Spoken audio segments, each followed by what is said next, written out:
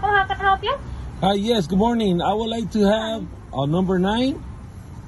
Uh, number nine. Yes. What kind of drink would it be? Um, a large iced coffee. The original. Okay. And an apple pie. Okay. Um, that'll be a thank you. That'll be it. Yes.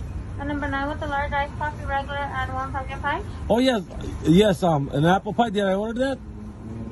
I'm sorry. I wanted to order a, a apple pie. An apple pie, not a pumpkin pie. No.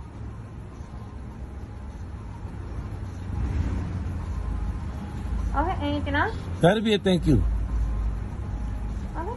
So that comes out to 1127 first with please. Thank you very much. You're welcome.